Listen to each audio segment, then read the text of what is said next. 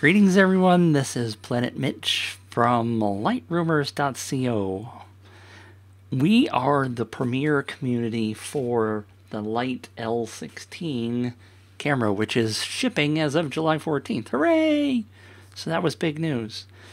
I want to give you an update about the depth map within the L16.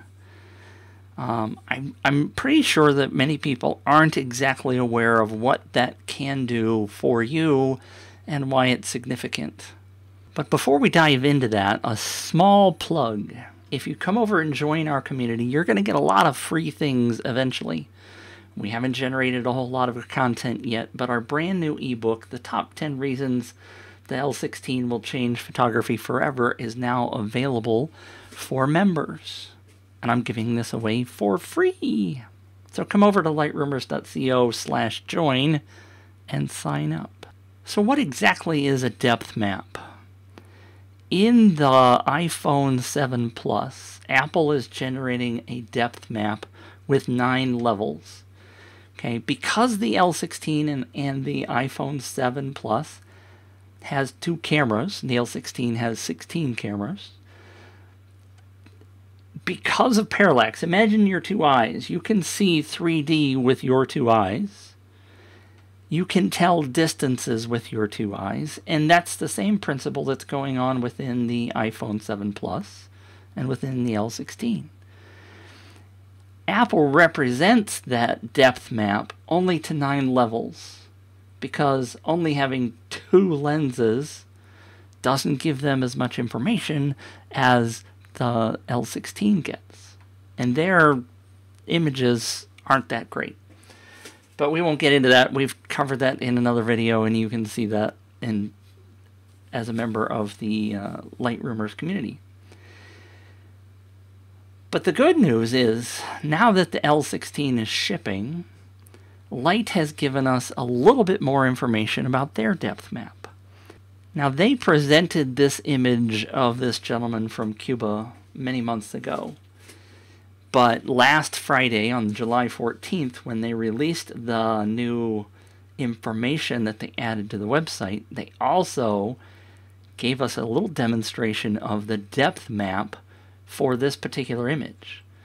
So if I move forward a little bit, you can see that depth map. Now, it isn't initially very exciting because it looks like there's a guy's face and his body and you can see a little bit of depth or a little bit of grayness on his shoulder and the background's kind of like black and gray but you're not really sure that it's giving you a whole lot more information than the Apple depth map, right? I've turned on my fancy schmancy cursor and I'm highlighting certain areas so that it's a little easier to talk to you about this. But you can see on his shoulder, right in here, there's a little bit more gray, whereas his front chin, his only chin, he doesn't have a back chin, goofy Mitch.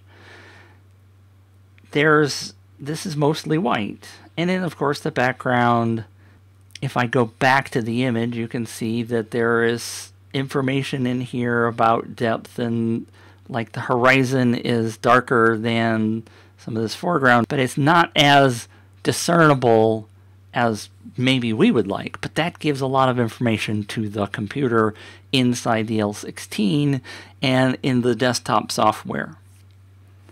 Now, you may say to yourself, Self, this guy's head looks pretty much white, right? And it's very hard, I'm sure, almost impossible to see on YouTube but his nose right in through here shows a little bit brighter than his eye socket back here. Now let me do a little bit of manipulation here in Lightroom. I'm in Lightroom. I've brought this into Lightroom and let me turn the highlights way down and let me turn the whites way up. No, way down. And in this area, you can see his nose. And a still, this may not show up very well on YouTube, but trust me, you can see his nose is bright white and his eye sockets are much grayer. They're able to do a lot with this very sharp uh, image to be able to tell where he is versus the background. But the point is that this depth map, this gray image, is giving us a lot of information, giving them a lot of information about where the objects are within the image. They also gave us a couple of different samples, and I'm going to go through those here. And this was buried in some of the information, and I grabbed these images thanks to light. But this is the original image, which um, they have marked as F15. So it's going to have a lot of depth. If you were looking at a traditional DSLR image, that would have a whole lot of everything in focus at f15 up to f22. You know, you're pretty much going to get everything in focus. Uh, we can see down here that this flower is a little bit out of focus, uh, but her eyes and her face, which should be the primary focus point, is pretty much in focus, which is what we want, right? Uh, so the background is definitely sharp. Now we don't have the depth map for this image, but if I go forwards to the next image, you will see, and it's not 100% aligned, so I apologize about that, but you will see that going back and forth between these two, that the background is much blurrier. They have applied a Gaussian blur or whatever routine they're using to this. It looks pretty good. There may be a little bit of an edge issue up here. It's kind of really hard to tell because we don't have the full-size image, but the vast majority of people aren't going to even notice that. And they certainly uh, will say that this is a much better image because the background is blurry and you're focusing the attention on the young lady's face. They gave us the original image on this one. It wasn't labeled as F15, so I don't know exactly what they equate the f-stop to, but this is obviously everything is in focus.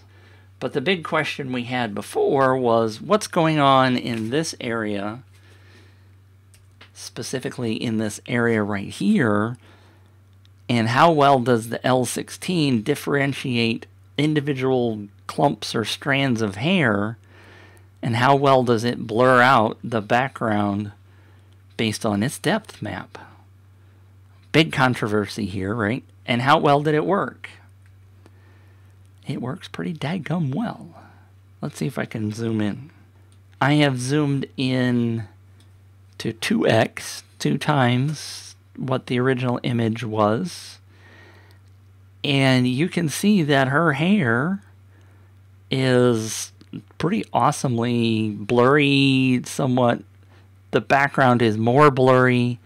Lots of goodness is going on here. It doesn't just like have these major gaps where the background isn't really blurred out like this. I mean, some of the Apple images, if you watch the other video that I've done, and I will, of course, include a link to that, other Apple images with their two cameras cannot differentiate this kind of fine hair or even wine glasses. It's, it's such a joke.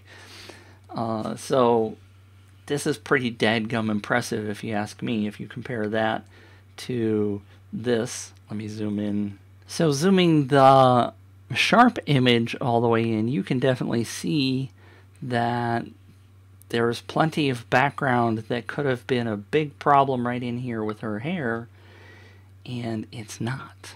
So I'm pretty amazed at the way the L16 is handling this kind of structure. The depth map is doing what it needs to do. Of course, that means that there are other functions which are all outlined in the ebook, and I'll try to talk about a couple of them in some upcoming videos. But one of the other functions that I want to show you is being able to isolate objects in an image. This is a demo from a company called Pelican Imaging, and it was done in 2013 and I'm going to do a blog post about this, but it, they were doing similar technology and uh, they had been bought out by somebody, but they did not successfully create a camera that was shipping. But this demonstration is, I think, a very good indication of what is possible with the L16 as well. So let me play part of this.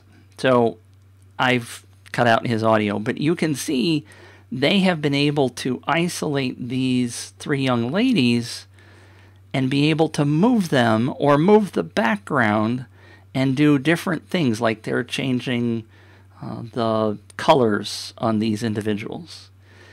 This is a phenomenal capability uh, that will eventually be coming to the software for the L16. Uh, I'm guessing because the capability is there.